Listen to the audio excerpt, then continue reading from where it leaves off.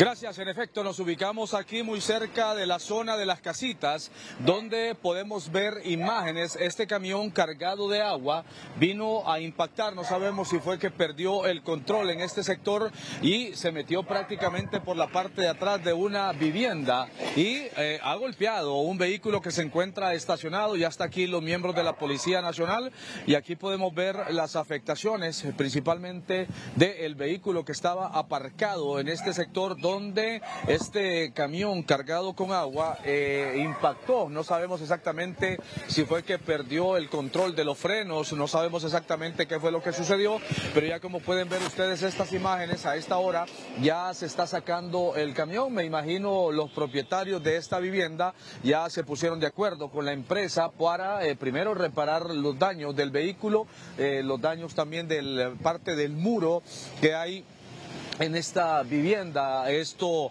ocurrió hace unos minutos acá.